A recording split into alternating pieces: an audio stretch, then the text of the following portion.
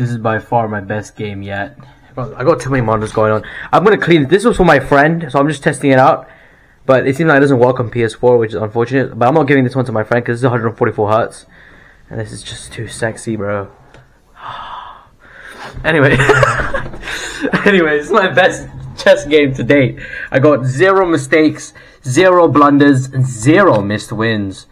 So I made um, I got a 92.2 accuracy, which isn't my highest. My highest is 96.7 or some shit, shit like that, according to memory. And I had one really great move, which was cornering the queen up here. It was, a, I guess, a thousand elo Komodo six bot, and I'm 467 elo. It was a thousand elo, and my rating here is adjusted 1,400. So yeah, this is my best game to date by far.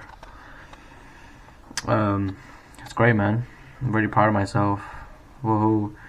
I got zero inaccuracies, zero mistakes, one miss. That was here.